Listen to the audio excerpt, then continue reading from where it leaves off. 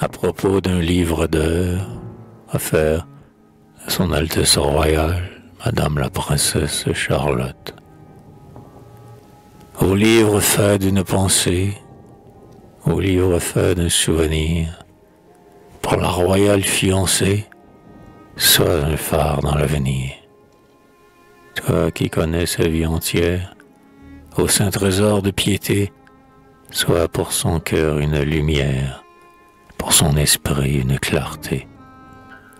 Tout ce qu'il faut qu'un jour on quitte, sinon sans larmes, sans remords, lieu où le cœur toujours habite, toi des vivants, tombeau des morts, patrie où l'on était aimé, patrie où l'on nous aime encore, terre de souvenirs semés, garret couvert de gerbes d'or, passé, flot charmant qui déferle, fait de joie et non de douleur, écrin dont on était la perle, jardin dont on était la fleur, maison de nos rêves remplis, écho dont on était la voix, tout ce que j'aimais, on oublie, tout ce qu'on aime qu'une fois.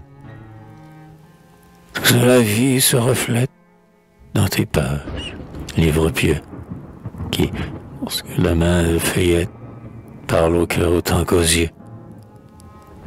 Pour livre, à celle qui t'emporte, rappelle tout cela souvent. Ô clé qui nous ouvre la porte, ô conseiller toujours vivant. Rends-lui chaque devoir facile, fais son chemin toujours fleuri. Dans la douleur soit son asile, dans l'orage soit son abri.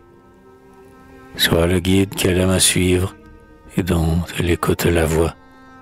Fais-la penser toujours au livre et fais-la rêver quelquefois.